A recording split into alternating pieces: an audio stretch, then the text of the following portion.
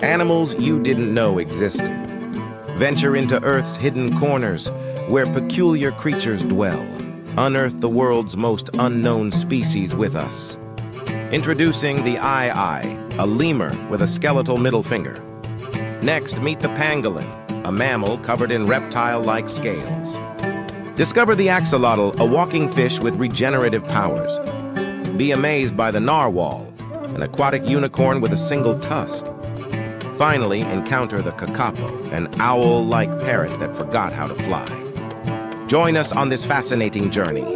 Unveil the secrets of animals you didn't know existed.